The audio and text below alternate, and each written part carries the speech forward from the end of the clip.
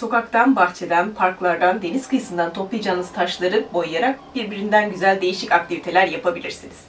Bugün Adelant Renkler Dünyası'nda guaj boyalarını kullanarak binbir surat taşlar hazırladık. E, taşları boyarken guaj boyası kullanabilirsiniz. Guaj tamamen kapatıcı özelliğe sahiptir. E, mat ve pürüzsüz bir yüzey sağlar.